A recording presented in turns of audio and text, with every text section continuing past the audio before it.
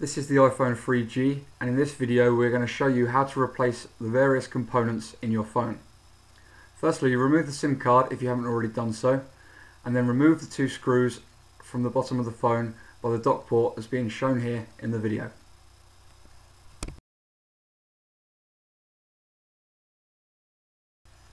Once the screws are removed, using a safe pry tool, run this along the bottom of the phone between the bezel and the glass to pop the screen out as shown here in the video.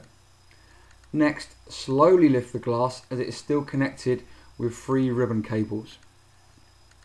These are labelled 1, 2 and 3. Cable number 1 may have already released, but it's just a pop connector which just needs to be popped up, and 2 is the same.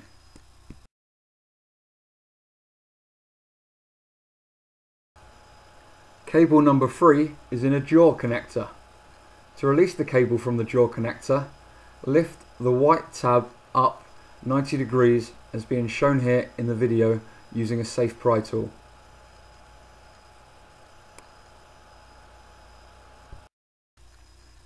Now the jaw connector has been opened, we can carefully remove the digitizer glass from the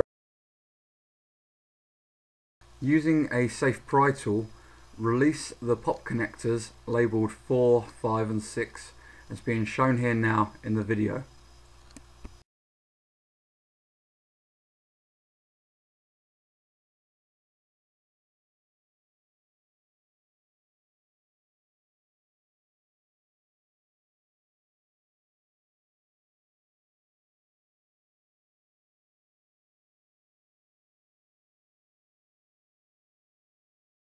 Once these have been released, now use a small Phillips screwdriver to remove the seven screws as being pointed out here.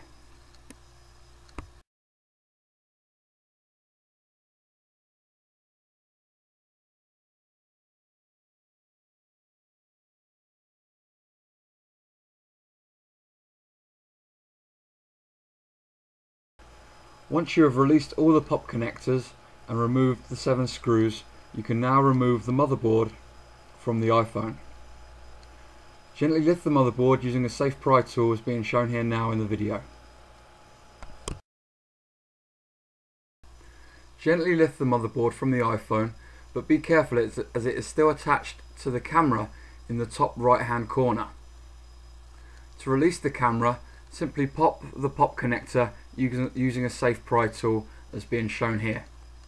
Once done, you can safely remove the motherboard.